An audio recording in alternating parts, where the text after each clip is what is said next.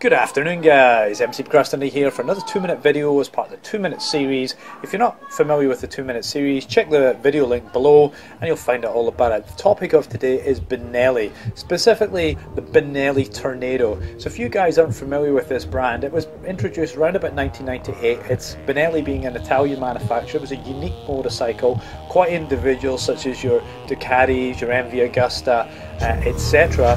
So this it ran from 1998 to 2003 as a 900 model CC, and then they changed it into a 1130 CC model, and they sort of yeah, they basically give it an upgrade with regards to looks, etc. They kind of modernised it slightly, but I'd probably say not enough, and that's why it was kind of done away with. Now, this bike was jogged into my memory because when I was talking about MV Agusta the other day, of course, I've been doing nothing but looking at MV Agustas. And when I originally bought my MV Agusta, going way back to 2006 in the UK, I went for a black Kawasaki ZX10R into an MV Agusta F4000.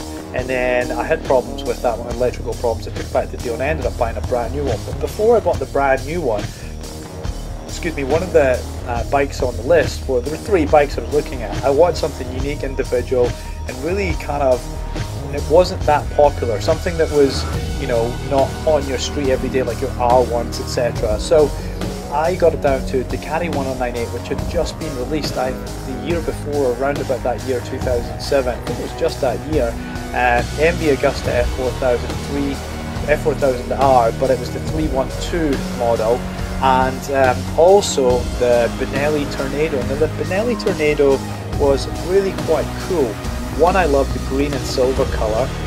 Sort of, I guess it was reflective of Italian engineering, you know. Um, but one of the things that was quite specific on this bike was on the rear end, I guess where you'd see the underseat exhaust, there was like what looked like two rocket launchers or uh, two turbo engines on the back, which you know the kid out of you, the kid inside of you comes out and goes, "Wow, what is this? This is amazing. No other bike has this." So there's two turbine. I'll show you in the picture just here. There's two turbine fans on the back. Now, what they actually are, they're they're not necessarily cosmetic. They actually do have a purpose. They actually um, flow air through to the radiator, which is really, really quite a cool engineering little trick. So anyway, I, I cut a long story short, I jumped on this bike when I was um, looking at the um, bikes, or the other two bikes, sorry, and I really didn't like it. It was dated, it was quite bulky, it didn't look as cool when you seen it there that what it did in the pictures and ultimately I made a decision not to get it. However, forward into today, when I was talking about the MV Agusta, you know, like something's happening. There's a huge change on the horizon, as we know. If you check out both the MV Agusta motorcycle video, but also the Mission motorcycle video, which is all about electric motor vehicles, bigger picture, electric vehicles in general, there's going to be a day where things like this, the RSV4, are going to be a part of history. They're going to be legacy they're not going to longer exist. And when you think about that, you know, like maybe that's going to happen over the next 10 to 20 years, now is the time. You know, if you've got disposable funds, if you've got disposable income, buy these things up while you can because there's going to be a part of history that will just flitter away. And I love motorcycles. I, I've said this numerous times. I'm not a crazy rider, I'm not a fantastic rider, but I really love bikes. I love really the the kind of uniqueness that you get from a bike that you perhaps don't get in some cars, and probably more affordability as well. Like you can buy an MV Agusta for, you know, thirty thousand dollars, and you you can't buy a Lamborghini or a Ferrari for even close to that. So it gives people with not the same kind of disposable income as somebody like a footballer the ability to be able to buy something quite unique.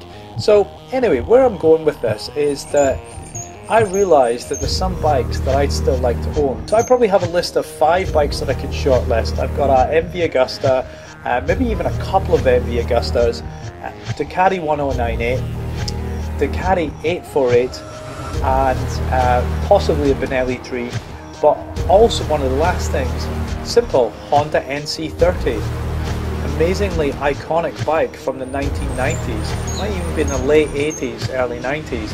So if you had, the question is, if you had the money that you require to be able to buy the things that really interest you from the past, what would you buy and what are the reasons for that? It'd be great to find out your comments.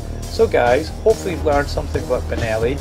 And this is another two minute video. It's around.